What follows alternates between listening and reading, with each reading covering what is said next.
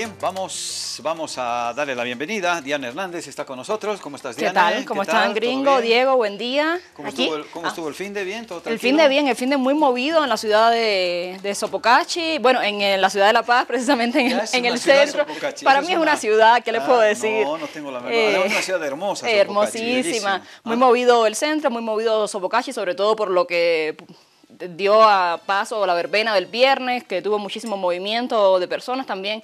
Varios de los centros culturales del país, sobre todo de La Paz, estuvieron festejando a la ciudad y tenemos detalles de ello. A ver, vamos a contarnos. Pero vamos a empezar con una noticia que hoy amaneció en el portal de Facebook del Ministerio de Culturas y Turismo y es una muy buena noticia para todas las personas que se acercan justamente a sus talleres. Decíamos que justamente el Ministerio tiene varios talleres y uno de ellos es un taller de muralismo. Tenemos imágenes que queremos compartir porque ya se habla del éxito que ha tenido justamente estos talleres para jóvenes. ¿Sí? Decíamos, teníamos las imágenes. ¿Podemos esperar por ellas? Justamente decíamos que el exitoso taller de muralismo que está organizado por René Howell, un gran artista que ha llegado hasta Bolivia para impartir este taller, ingresó a una nueva etapa en la que los estudiantes ya muestran lo que se puede hacer con su creatividad plasmada sobre una pared. Es una nota corta porque estaremos luego en otras emisiones conversando con las personas que han sido parte de este taller y que pronto estará expuesto en varias plazas de la ciudad de La Paz. Esto es lo que usted podrá ver en varias calles en los próximos días y es resultado de un taller que ha dado al traste con el Ministerio de Culturas y que está siendo organizado por la ciudad de La Paz. Buenísimo, lindo. tierra donde nací, donde viviré.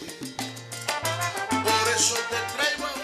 Decíamos que también varios espacios culturales de la ciudad estuvo festejando precisamente el fin de semana. Desde la semana pasada teníamos detalles que el Teatro Nuna, por ejemplo, tuvo una gran participación con orquestas como Los Bolitas, Desaires, también Vinilo 54 y justamente anoche tuvo la presentación de La Paz Encanto, un ensemble que usted está viendo justamente los detalles de su presentación. Arreglos originales de las obras de algunos de los más importantes compositores bolivianos, como Simeón Roncal, Nicolás Machado, Matilde Casasola y Carlos Suárez, integraron el repertorio del concierto La Paz Encanto le canta al folclor, que tuvo lugar en la noche justamente a las, a las 19 horas en el Teatro Nuna, decíamos, el teatro que está en la 21 de Calacoto y que tuvo una movida actividad durante toda la semana. ¿Podemos escucharnos un poquito? Podemos escucharle un poquito, tiene, tiene sonido.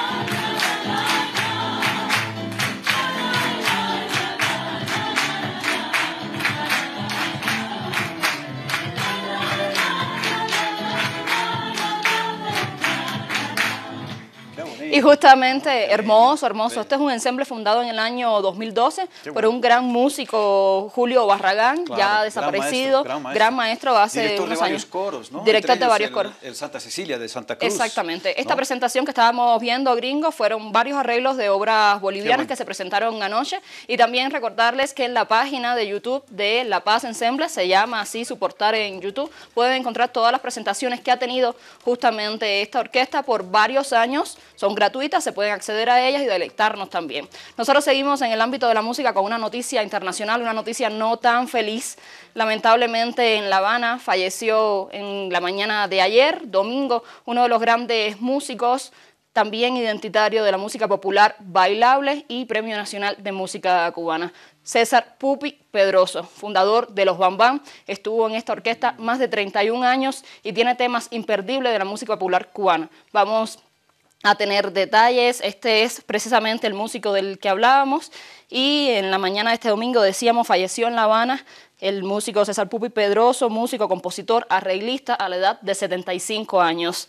Nacido en el barrio habanero de La Timba, cursó estudios de música en el Conservatorio Amadeo Roldán e integró varias agrupaciones de música popular bailables cubanas. Compuso inolvidables piezas de repertorio popular de ese país como Seis Semanas, El Buena Gente, Ya tu campana no suena, el negro está cocinando, uno de los temas imperdibles justamente de la orquesta Los Bambán, popularizado por Pedrito Calvo también, otro excepcional de la música cubana, y Temba, Tumba y Timba, entre muchísimas otras canciones que permanecen en el imaginario popular cubano y que han bailado varias generaciones de este país. Destacó especialmente por su estilo peculiar de tocar el piano sonero, lo vemos justamente en estas imágenes, maestría que le valió la condición de cofundador junto al maestro Juan Formel y el percusionista José Luis Quintana, Changuito, del ritmo Songo, una base de sello musical cubano imperdible que representó también la orquesta de los Bambam.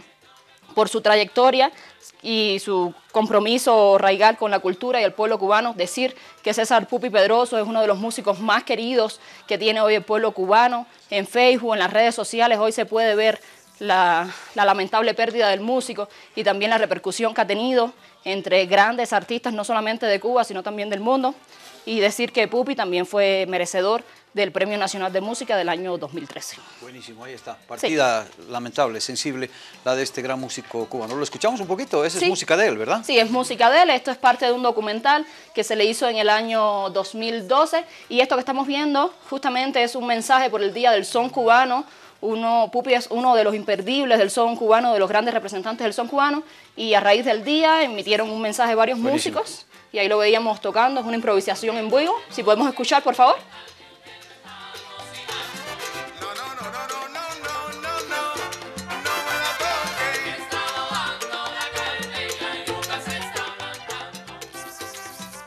Con esta lamentable noticia vamos a dar paso a la agenda porque también hay agenda para los próximos días en Bolivia para que usted no se pierda los detalles. Comenzamos. Tenemos en el bestiario este centro cultural martes de teatro, es decir, mañana tendremos la obra de la presentación, la presentación de la obra Jubilación, un monólogo de Diego Masi. Esto será a las 20 horas en la calle Aspiazo. También, hasta hoy, las 19 horas, es decir, hasta las 7 de la noche, usted puede acercarse al Salón Mariano Mario Unzueta en Cochabamba con una presentación de una exposición que lleva por título Exposición Colectiva, una muestra de artes plásticas que estará hasta las, 9, hasta las 7 de esta noche. De la compañía Mondaca Teatro tenemos el taller de iniciación actoral para teatro y cine Ser o no ser actor, que estará disponible hasta el 22 de julio en la Cinemateca Boliviana. También desde varios espacios nos llega un taller de escritura creativa. Estamos hechas de historia. Será un taller presencial el 23 y el 24 de julio. La convocatoria está abierta todavía y tendrá espacio en Casa Grito en San Miguel, en la calle José María Salles.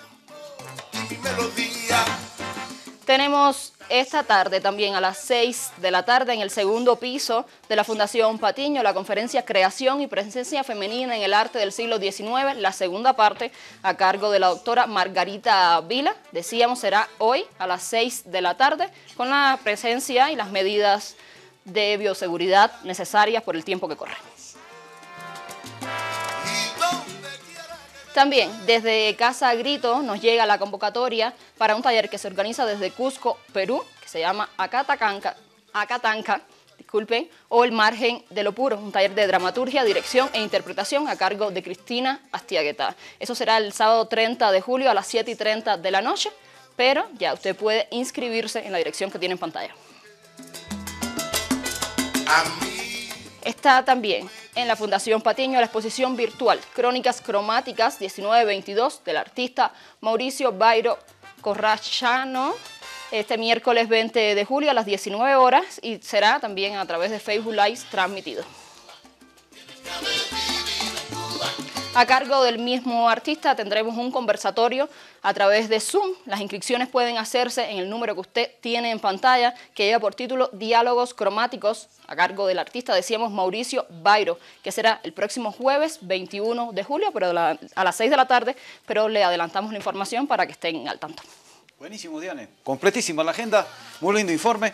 Nos reencontramos el jueves contigo. El jueves nos reencontramos, pero mañana estaremos teniendo detalles. Estamos organizando algunas entrevistas también que queremos sumar. también de la actualidad internacional y también latinoamericana, sobre todo, para que no nos quedemos solo en Bolivia y expandamos un poco más los límites de la cultura, que no es solamente lo que se hace en el país, aunque es muy amplio lo que tenemos en Bolivia. Es verdad. Eh, voy a pedirte un último favor. ¿Puedes presentarlo a Diego Montaño? ¿Cómo que no? Sería un gusto. Diego siempre me da la bienvenida, ya yo lo presentaba ya en el segmento que teníamos en la tarde, pero damos paso a mi colega Diego Montaño, que se encuentra del lado de allá de mi colega gringo, y justamente vamos con él ahora.